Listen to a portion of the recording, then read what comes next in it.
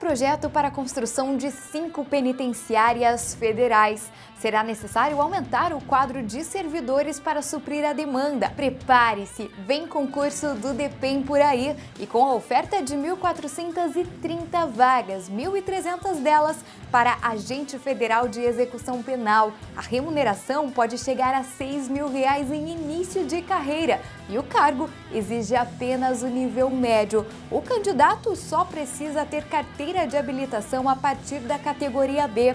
O certame deve ser publicado no ano que vem, mas a sua preparação não pode mais esperar. O Agora Eu Passo saiu na frente e já abriu turma com foco total no concurso do DEPEN. As aulas acontecem no período da noite, de segunda a sexta-feira. Ao fazer a inscrição, você tem direito a realizar simulados, recebe uma apostila de conteúdo e uma camiseta personalizada. Ainda tem dúvida? Então participe da nossa semana de aula gratuita. Conheça a nossa metodologia e junte-se a nós. Entre em contato pelo telefone 85 3045 8244.